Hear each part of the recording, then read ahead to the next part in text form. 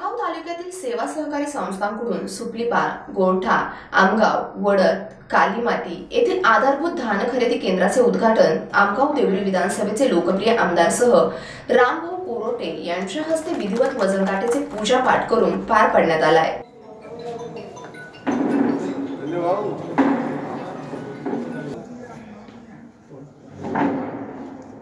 या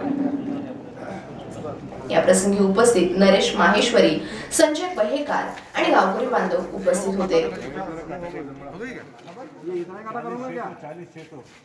शेतकऱ्याला दिवाळीमुळे पैशाची गरज पडतो तर तो त्यांच्या धान ज्या शेतकऱ्यांनी धान काढलेलं आहे त्यांच्या धान हा धान खरेदी केंद्रावरच गेलं पाहिजे. ह्यासाठी म्हणून तातडीनं जे मार्केटिंग फेडरेशनची जेवढी केंद्र आहे त्या सर्व केंद्राची आज आम्ही उद्घाटन केलेलं आहे. नक्कीचपणे यापासून शेतकऱ्यांना चांगला दिलासा मिळणार आहे. यावर्षी ज्याप्रमाणे मागच्या माग मागील अनेक वर्षापासून ज्या कमी क- खरेदी केंद्र होते पण आम्ही जास्तीत जास्त धान खरेदी केंद्र सुरू करून शेतकऱ्यांची पायपीट कमी केलेली आहे.